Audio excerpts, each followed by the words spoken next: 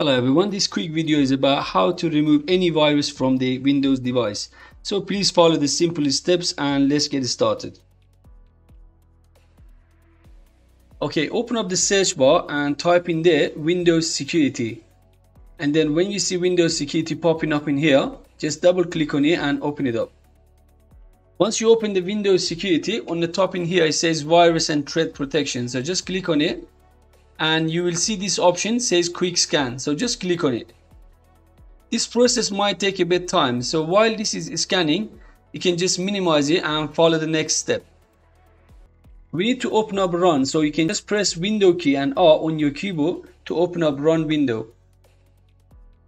We need to type in here clean mgr and then just click ok. It will open up the disk cleanup for your local C drive so in here, just select all the folders in here and then just click OK.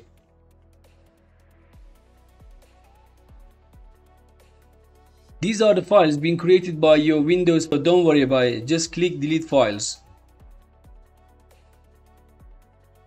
Okay, after you've done this, then now you can move on to the next step. Open up the run window again by pressing window key and R and then type in there temp and click OK we need to delete all these junk folders in here. So by pressing ctrl a on your keyboard it will highlight everything. Then you can just press delete on your keyboard or you can just click on this bin icon in here. Now just click on continue. So if you see this message popping up just select this one and then just click continue or skip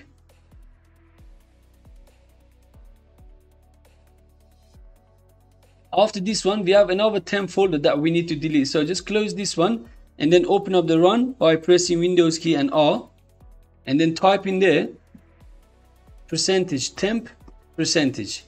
Click ok. Okay so we need to do the same thing again by pressing ctrl a to highlight all these junk folders and then just delete them. So click on continue for all. Same thing just select this one and then skip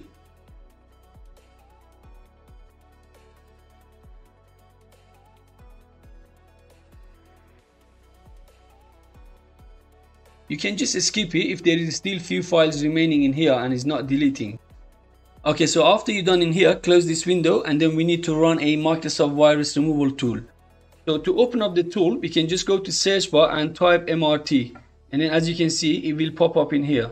But if you can't find it in here, you can just go to run, open up the run window again, and then just type in the MRT and click OK. Okay, so once you open the removal tool, then just click next. And over here, you have three options to choose. So you can just choose quick scan or if you want full scan. And if you want customized scan, then you can just choose this one. After that, just press next. It depends on the type of scan that you have chosen, but this might take a bit time to complete.